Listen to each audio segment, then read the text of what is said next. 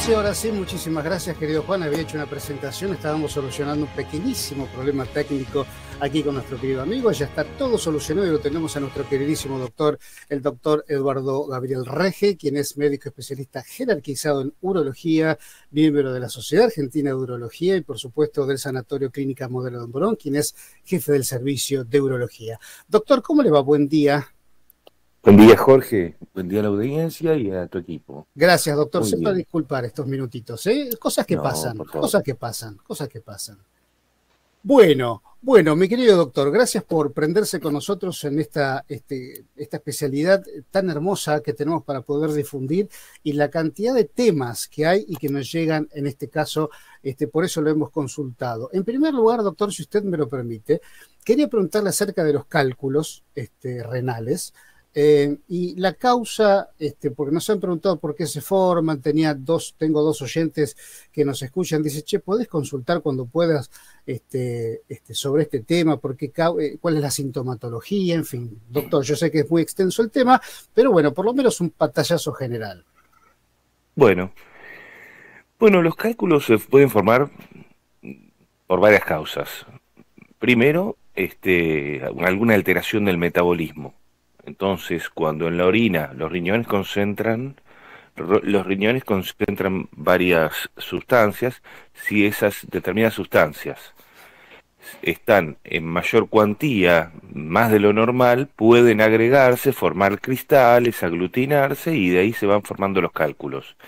También pueden formarse a punto de partida de una infección, No, no una infección urinaria, no alguna infección a nivel del o provocarlo, o sea, la misma infección agrandarlo, o, alguna malformación, por ejemplo, que el flujo de la orina en la vía urinaria alta esté enlentecido, eso hace que también precipiten, o la retención de orina, por ejemplo, en vejiga, los pacientes prostáticos que tienen residuo postmiccional, ¿qué, ¿qué significa eso? Que orinan y le queda la vejiga con contenido de orina. ¿no? La vejiga normalmente tiene 400, 500 centímetros cúbicos y le queda más de 100. Entonces ahí precipitan todas las sales y se forman las piedras. A nivel de la vía urinaria alta, principalmente es la malformación, eh, alguna alteración del metabolismo o alguna malformación. Ahora, vos me preguntás, la sintomatología depende de la localización y depende del tamaño del cálculo. Ajá, bien. Usted hablaba, perdón, doctor, a ver, yo no sé si entendí mal, si se refería a la retención de orina por una cuestión voluntaria o... No, no, no, involuntaria, involuntaria. El paciente va a orina y a pesar de haber terminado de orinar, está reteniendo orina porque la vejiga no puede vaciarse por estar tapada en un paciente prostático. Ok, perfecto, perfecto. Ahora sí, ahora sí entendí. Eh, bueno, doctor, justo lo corté. Pero ahí estoy hablando... No, no, perdóname. Ahí estaba hablando de cálculos en vejiga. Hay cálculos en riñones, cálculos en uréter y cálculos en vejiga. Varían también en sintomatología y en el tamaño. Los cálculos de los riñones difieren, tienen diferentes tamaños de acuerdo a la antigüedad que tengan, ¿no? Y a la alteración del metabolismo de la persona pueden ir de milímetros hasta, como le llamamos nosotros, coraliforme, porque crecen y ocupan toda la vía urinaria, toda la, la pelvis renal y los cálices, y antiguamente cuando se sacaban con cirugía, que se sacaba el cálculo entero, tenían forma de coral, por eso se llaman coraliformes. Y esos miden centímetros. Claro. ¿Eh? Ahora, respecto a los síntomas... Eso. Justamente, eso. Con respecto a los síntomas, obviamente el, más conocido y temido es el cólico renal. El cólico renal es un dolor tremendo. En la literatura antigua lo comparaban con los dolores del parto. el, es una piedrita que se aloja y se enclava en la, en la vía urinaria alta. Eh, ¿Qué quiere decir? La vía urinaria alta, vos tenés el riñón, del riñón filtra la orina, la vuelca en un, en, como en una copa, por eso se llama cáliz renal, y esa copa hace como un embudo y desemboca en un tubito finito que va hasta la vejiga. Eso se llama uréter. Y uno tiene el derecho y el izquierdo. Bien, cuando alguna piedra se enclava y tapa directamente el cañito de este uréter, ahí se forma el cólico renal. ¿Por qué? Porque no deja pasar la orina, se dilata ahí arriba. Es como si yo a una manguera le pongo una piedrita y le mando presión de agua después. La piedrita en un momento obtura la manguera y la manguera se dilata, porque el agua no avanza. Bueno, eso es lo que provoca ese dolor tan intenso que es el cólico renal. Bien. doctor, entonces, eh, con respecto a esa piedrita que puede estar erosionado, no en su forma, me refiero a que si puede llegar a lastimar y sangrar al paciente. Sí, la piedra no es lisa como un canto rodado, no, no. Esa es la idea que tenemos. No, no, no. Es muy irregular y tiene como espículas en la superficie. Entonces, cuando va deslizando, puede lastimar. Pero lo más importante, el sangrado también, que es lo más frecuente, es porque la piedra al impactar y estar apoyada en el tejido, ¿no? Este, y toda la inflamación, el tejido donde está apoyada esta piedra se inflama y ahí también empieza a sangrar. Ajá, ¿Eh? No un sangrado, no un sangrado que uno orina todo rojo, pero eh, eso que está con dolor le hacen un sedimento urinario, una orina completa y encuentran glóbulos rojos en orina. Perfecto, perfecto. Eh, doctor, a ver, una de las partes más complejas, porque acá esta persona que, las dos personas que nos están, que me preguntaron sobre el tema nos están escuchando y dice, ¿cuál es la forma menos dolorosa? Ponen carita de por favor. Eh, sí. Claro, porque antiguamente era un tema esto. Y sí. Yo te comento un poco las líneas de tratamientos como es. Para empezar, si aparece un cólico renal, uno tiene que ir a la guardia, control del dolor. Control del dolor, le pasan medicación, le indican medicación, una vez que controló el dolor, se puede ir a la casa con indicación médica, se le da la indicación de una medicación para el dolor, una medicación que se utiliza mucho en la hiperplasia prostática benigna, pero, eh, eh, por ejemplo, en el uréter, ese cañito que describí, en el hombre tiene tres lugares donde se puede enclavar, donde habitualmente se enclavan, que es donde la luz de ese cañito se afina.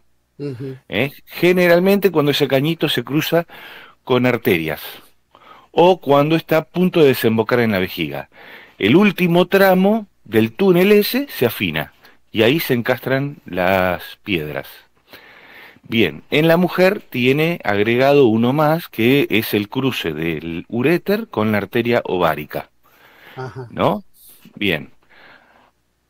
Este, eh, la medicación que se le indica, la tamsulosina, relaja el último tramo del uréter, cosa de que aumente la luz, o sea, aumentar la luz implica que, que sea más ancho el camino y el cálculo no tenga riesgo de, atorarse ahí. ¿Me comprendes? Sí, sí, perfecto.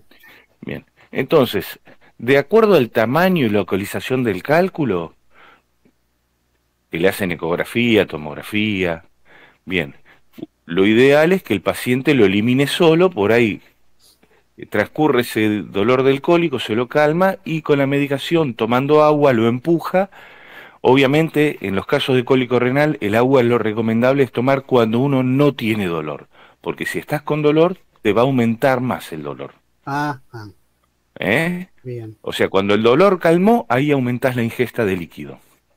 Bien, bien, perfecto. Entonces, lo ideal es eliminarlo solo. Yo tenía un profesor que les mandaba para confirmar que lo eliminaran que el paciente orine a través de un colador, que la verdad me pareció bastante este, inteligente porque a veces lo elimina y no sabe si lo eliminó o no lo eliminó, entonces eso ya le da una pauta de que eh, avanzó si uno recoge la piedrita y encima la puede mandar a estudiar para ver qué composición físico-química tiene esa piedra y a partir de ahí ayudar al endocrinólogo para ver si hay que modificar algo en la dieta, en los hábitos o agregarle medicación. Ahora, el, el, médico ya sabe de dónde proviene esa piedra, lógicamente, como usted manifestaba, si de riñones o vejiga. Sí, sí, sí, sí. Generalmente las de vejiga son grandes y las de riñones, las de que están en el ureter son chiquitas, 6, 7, como mucho, 10 milímetros, 4 milímetros. Bien. ahora me dijiste, eso es el tratamiento que se le da en la guardia al paciente en el primer episodio. Si no lo elimina la piedra y tiene cólicos intercurrentes, no asociado a ninguna infección, entonces sí, ahí hay que hacer algún procedimiento. La única el único momento en el que el paciente con cólico renal se internan, principalmente en una embarazada, si una embarazada está con cólico renal, se interna hasta que le calme el dolor, o en el paciente que tiene un solo riñón.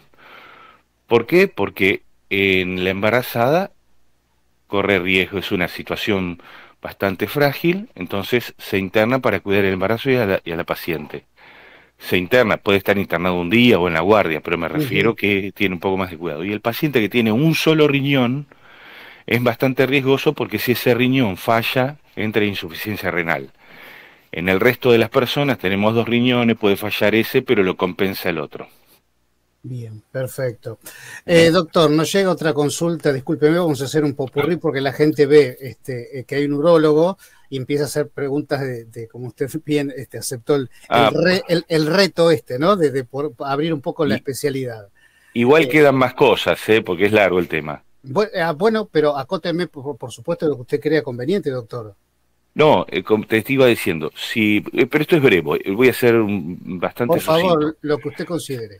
Si no le calma el dolor o el paciente no elimina la piedra, bueno, en el caso de que sea un cálculo ureteral, que son los que generalmente provocan los cólicos, los que provocan el cólico renal, ahí está la posibilidad de colocar un catéter, un catéter doble J, o, o incluso sacar ese cálculo, ya sea con un equipo endoscópico, no hacer una incisión, un tajito, nada, no, no, todo endoscópico. El paciente siempre dormido con anestesia general, ah, se, ingresa, se saca la piedra o se la destruye con un láser y se acabó la historia.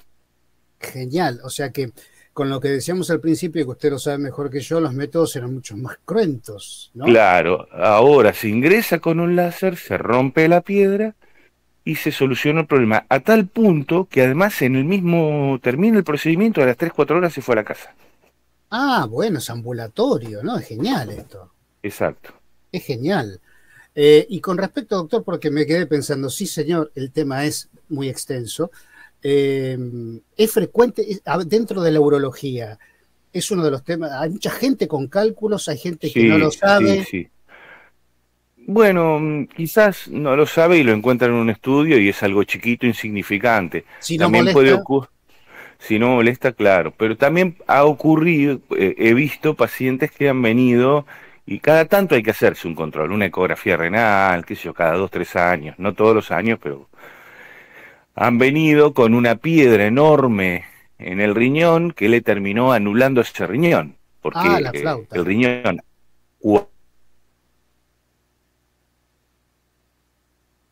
A ver, doctor, ¿lo, perdí? A ver, Juan, confirmame si lo tenemos al doc. A ver, ah, está, está un poco mal la señal. A ver. Dejó de funcionar porque la presión del agua no avanza, la presión de la orina no avanza Es la señal, me parece. Sí. A ver, Doc, creo que por momentos lo perdemos. ¿Ahora me tenés? Ahora sí, ahora sí, es la señal que va bien. Esta lo puede comprimir como el aire. Empieza...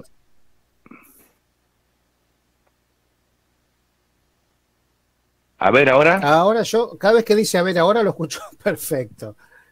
¿Ahora? Ahora sí. ¿Hola? Sí, perfecto. Lo escucho, doctor. Ocluye ¿eh? sí, sí.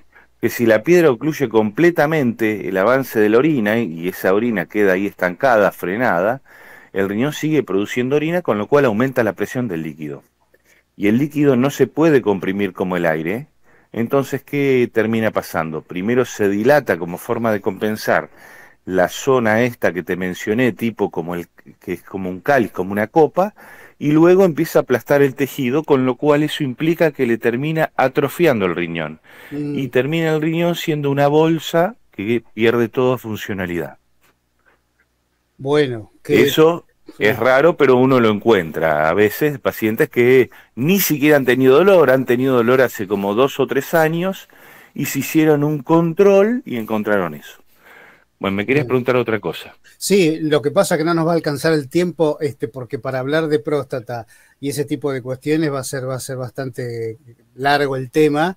Este, así que bueno, doctor, si usted no opina lo contrario, lo dejamos para otra charla, porque la verdad que es súper interesante el tema de lo que es este el tratamiento. Litotricia, ¿a qué llamamos, doctor?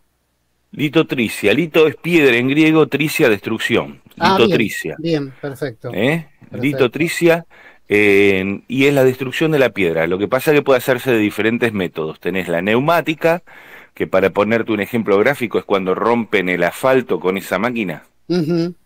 Bien, obviamente que en escala muy chiquita se rompe, esa es la neumática. Después tenés la litotricia con láser.